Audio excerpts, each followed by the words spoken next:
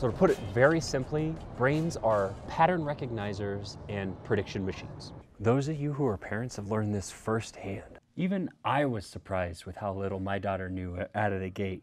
At least deer kind of know how to walk when they're born. But Junie, she didn't even know how to fart. See, when she was born, her movements seemed almost random. Legs kicking, arms flailing. But then something amazing happened. She began to understand the things she needed to do to get the outcomes she wanted through uh, repeated trial and error. She was able to start to get what she wanted by acting certain ways.